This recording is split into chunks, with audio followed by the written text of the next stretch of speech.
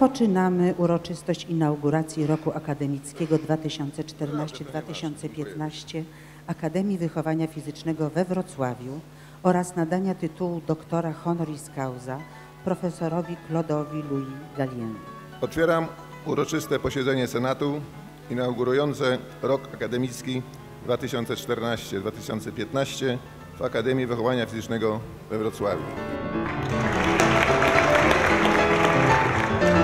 Podstawie odpowiednich zapisów ustawy i statutu Akademii Senat podjął uchwałę nadającą panu profesorowi Claude'owi Gallienowi tytuł doktora honoris causa Akademii Wychowania Fizycznego Wygłoszenie laudacji na cześć tak znamienitej osoby jest dla mnie zaszczytem i wyróżnieniem.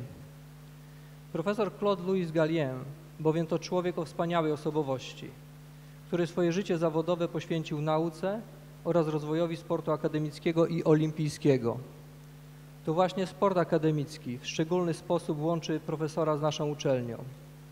Akademia Wychowania Fizycznego we Wrocławiu przez bez mała 70-lecie swojej działalności była, jest i zapewne będzie niezawodnym protektorem sportu, a zwłaszcza sportu akademickiego.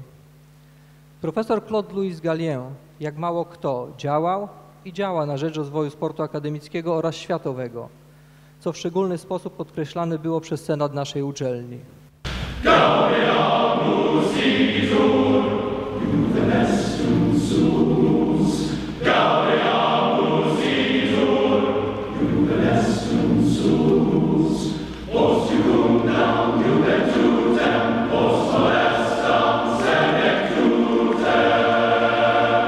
Zamykam uroczyste posiedzenie Senatu Akademii Wychowania Fizycznego we Wrocławiu.